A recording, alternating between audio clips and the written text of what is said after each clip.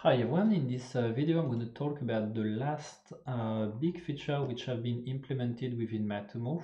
Uh, it has been just released yesterday within the version 4.11. It's, um, I will say it's a major release over here. Uh, as you can see it includes uh, four, I think four to five new announcements. So this one, uh, this one, this one, as you can see they are rated major, which means that it's big features which were, which were expected.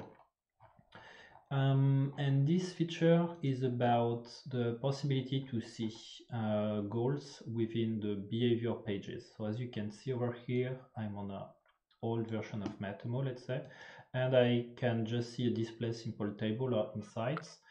Though it's not the case for the visitors. So visitors, if you look over here at devices, for example, you can add the goal metric. It's not an issue. Same thing dealing with the acquisition part but when it comes uh, to the behavior it's not it's not possible okay?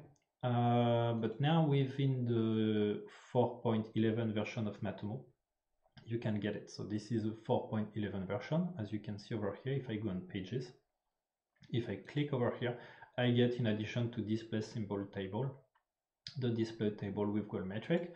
So to say it's going to tell you exactly which are the page which are the most valuable uh, so the one who have let's say more engage sales pitch.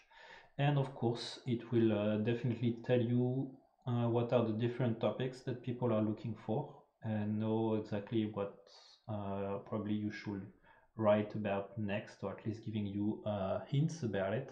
Uh, definitely useful for blog posts and uh, kind of let's say places on your website on which you can easily write some content. Hope you enjoyed these videos thanks for watching